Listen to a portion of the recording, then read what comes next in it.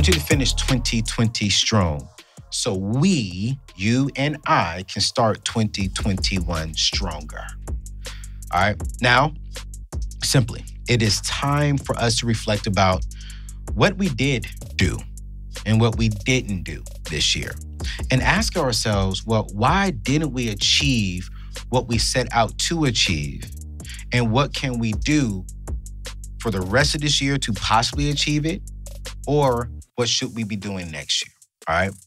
So it's time to stop. Let me say this right now, because some young like, well, COVID messed me up and COVID did this. Listen, COVID is real. All right. COVID uh, prevented me from making some money as well this year. COVID impacted my family. COVID just has has jacked up everyone in the world. I don't care if you make $10,000 a year or $10 million a year. Everyone felt the impact. But it's time for us to stop blaming COVID for everything that happened to us in 2020. Because here's the truth some of the things that have impacted us had nothing to do with COVID, it had everything to do with the decisions we made. Yeah, I said it. All right. COVID, yes, impacted some things. But before COVID, what decision did you make in January with your money that if you would not have made that decision, you would be in a little better situation today?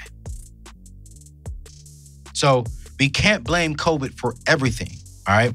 It's time to start taking responsibility for our life. And look at me. I'm not saying for your life. I'm not putting everything on you because this is the this is the table. Your boy keeps it real. So there are some things that I could have done better this year as well. So this is you and I. We a family. So I don't want you to think I'm only talking to you. I'm talking to you and myself. So together, over these next three months, we're gonna look back at our goals. We're gonna look back um, at our vision and see what can we still achieve this year. All right? There is still time to reach some of your money goals. If you're working a debt snowball and you're making all your minimum payments and all your debt, what's that smallest one? If it's a $500 credit card, you got enough time to pay that one off. Now, you may not finish all your debt this year, and I totally understand that, but y'all check this out. You can still get one. One done, maybe two.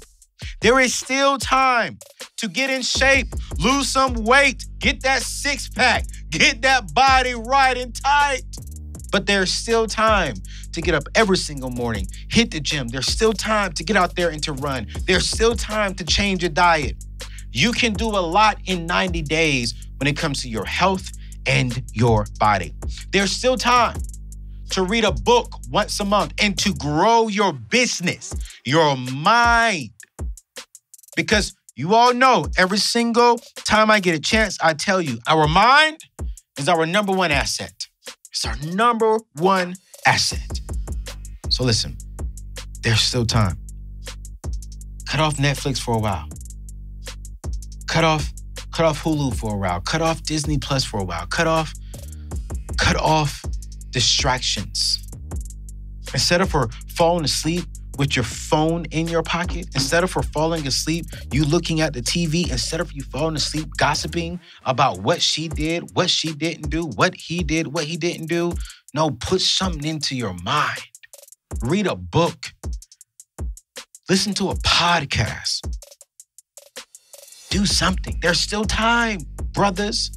Because he who finds a wife finds his best thing. There's still time to ask that lady out on a date. And I ain't gonna front. I asked somebody out on a date. yes, I did. Yes, I did. There's still time to make new friends, quality friends. Remember, we want four quarters instead of a hundred pennies. We want quality people around us. Y'all, check this out.